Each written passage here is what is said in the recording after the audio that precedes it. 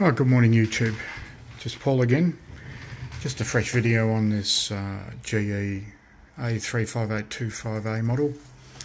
Alright, so remove the chrome bezel, chrome from the bezel in preparation for what I've decided to do on this particular model is um, paint this in a copper finish which is all of the plastic bezel including the channel selector.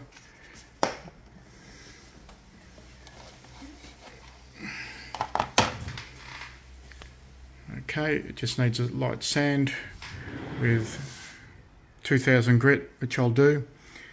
Actually, the chassis is in very good nick.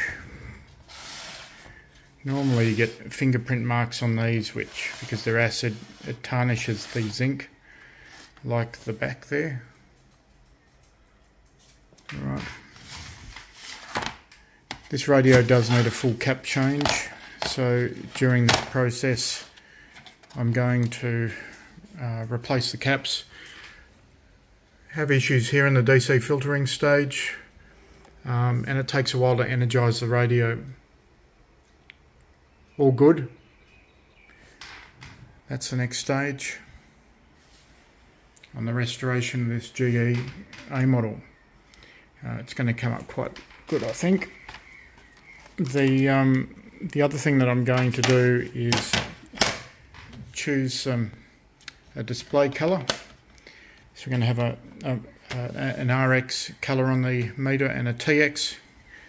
Going to run um, LEDs behind this, get rid of the incandescent stuff, and it should come up quite nice.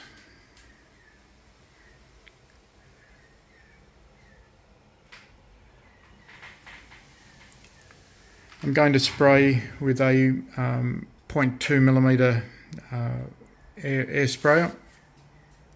Uh, and going to use a solvent base as an undercoat.